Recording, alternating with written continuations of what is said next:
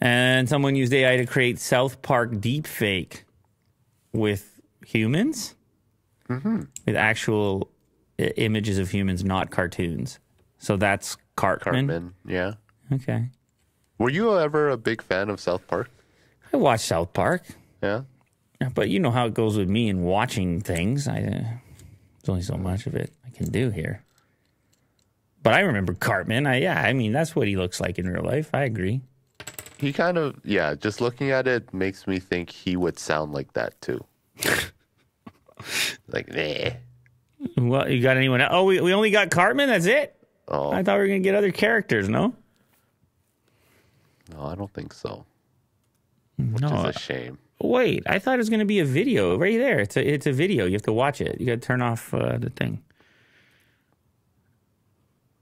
There you go.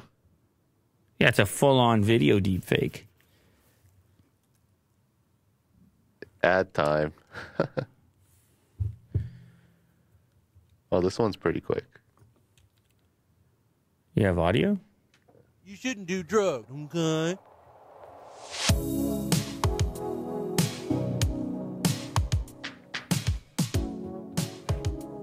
It's also like uh. from the 80s. Randy. yeah, it has like an 80s style. What is that? I don't know. I what they went for. Garrison. Okay.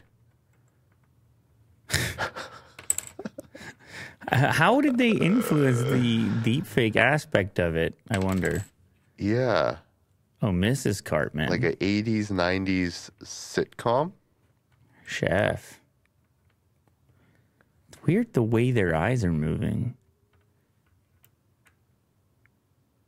Hmm. You see what I mean? The eyes are always like stitched on. They kind of move independently of the face. Cartman. yeah. It's not a lot of uh, movement. Can you imagine a live action? How weird that would seem. Mm-hmm. Live action movie, South Park.